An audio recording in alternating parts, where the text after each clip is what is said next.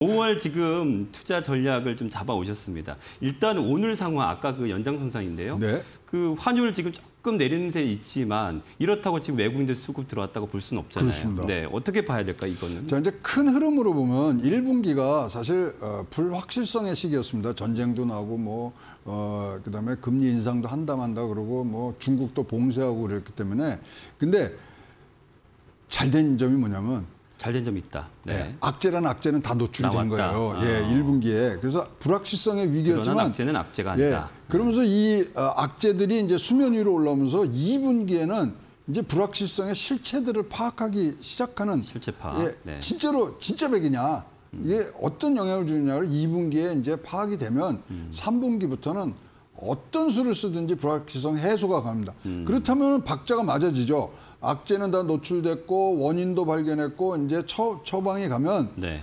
하반기에 악재 해소의 기간이 될 수 있다. 그러면 야 보면은 지금 2분기란 말이죠. 3개월 정도의 우리가 어, 박스권에 한번 어, 더 묶여 있다면 그 다음부터는 조금 좋아지지 않겠냐. 그러면 지금 현재 에, 이런 모멘텀이 바뀌는 건 6월 내지 7월 달에 네. 변곡점들을 가지면서 어, 그렇다고 해서 뭐 이게 바로 올라오지는 않을 것 같고요. 네. 3분기에는 어, 또뭐 관망하는 횡보하는 어, 그런 듯한 모습이 보이는데 이제 4분기부터 앞에 6개월을 이제 당겨서 오는 것이 주식시장이기 때문에 네. 자 이게 이제 어, 갈림길에 서는 부분들이 있어서 저는 어, 연중 고점에 다다를 수 있는 분위기는 7월 정도에는 어, 뭐 형성이 된다. 그 이후에 어느 어, 방향으로 갈 것인가는 뭐 사실 또 그때 우리가 좀 더 시장 상황을 봐야 되겠습니다만은 자 불확실성에도 투자기에는 분명히 있습니다. 네. 그래서 지금까지 이제 돈의 힘에- 힘에 의한 불장이었거든요. 네. 그렇다면 긴축의 강도 어, 이것에 의한 이제 조정장이 오는 부분들을 어떻게 지혜롭게 넘기느냐. 네. 야 진짜 어, 사고 다발 구간이 앞에 있긴 합니다만은 어, 굉장히 에, 선구안이 좋으셔야 되는 부분들이 있고요. 몇번 뭐 말씀은 뭐 모든 전문가들이 얘기하지 않습니까? 실적이 개- 뭐 가장 판단 기준이라 그러는데 네. 또 삼성전자는 또 보니까 실적 최고인데도 조- 그렇죠. 또 내려오는 부분 네. 이런 것들이 사실 굉장히 지금 여러분 에, 여러분들 고민을 에, 더 해드리는 부분들이 있습니다만은 네.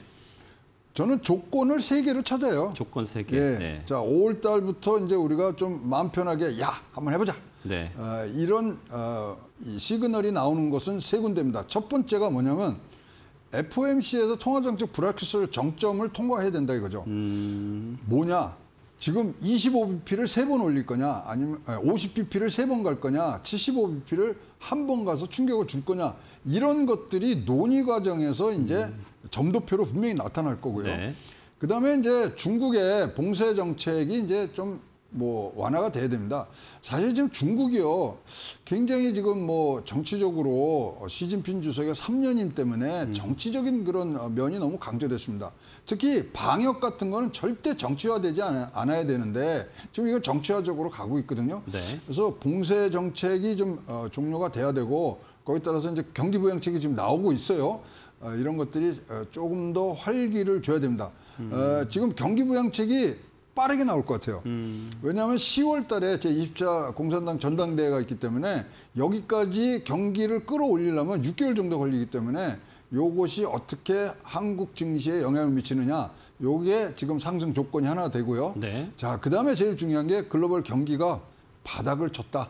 자, 이거는 어, 사실 이제 전쟁도 끝나야 되고, 어, 그 다음에 소위 말하는 인플레이션이 있더라도 네. 건강한 인플레이션, 음. 예, 같이 갈 수 있는 인플레이션이라는 거를 에, 분명하게 에, 확인되면은 네. 요세 박자가 맞아질 때 우리는 조금 더 강한 네. 상승 모멘텀을 지니리라고 보고 있습니다. 네, 조건 세 가지가 어, 심- 쉽지는 않겠어요.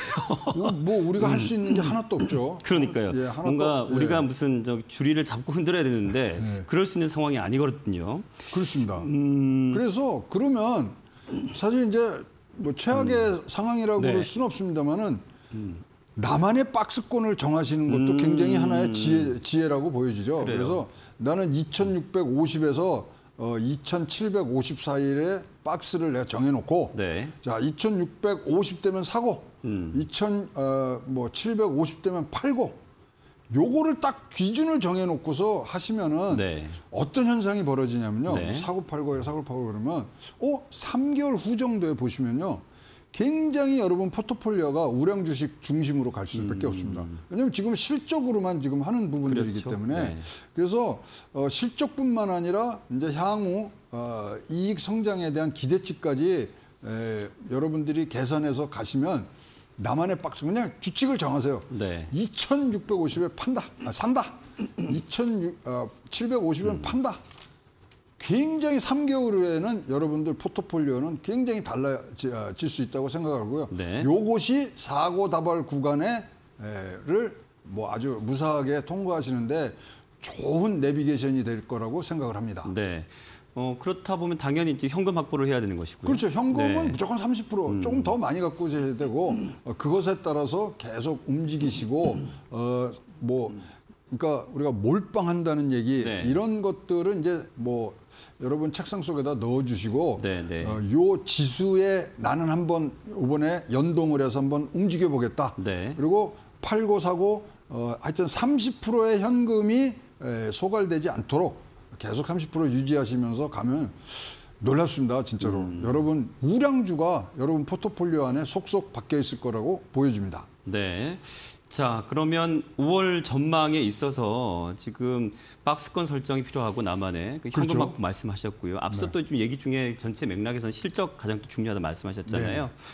그래서 그랬군요. 저는 미리 이제 주신 원고를 받으면서 사람 네. 이름이 나오길래 이게 뭔가 했더니 박현실이 여기서 나왔군요.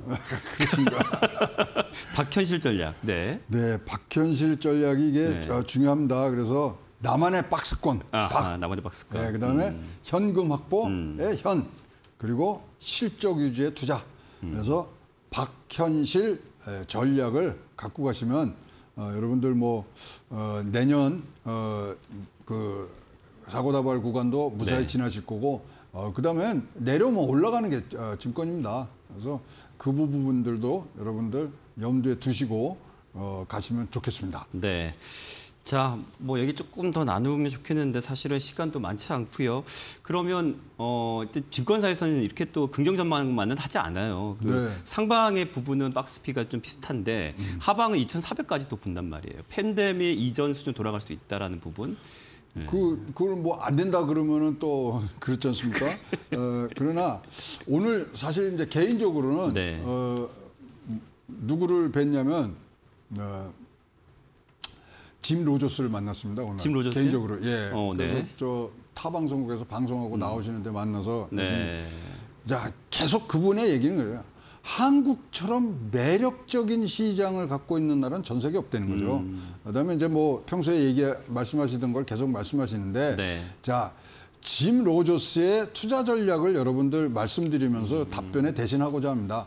첫 번째, 네. 장이 어떤 장인지를 판단하셔야 돼요. 이게 네, 상승장인지 이뭐 하락장인지 일단 네. 큰 거를 보시고 네. 그 다음에 우리가 이제 뭐 차트도 보고 하지만 에, 짐 로저스의 이 가장 네. 큰 원칙 중에 하나가 뭐냐면 이 주식 해야 되는데.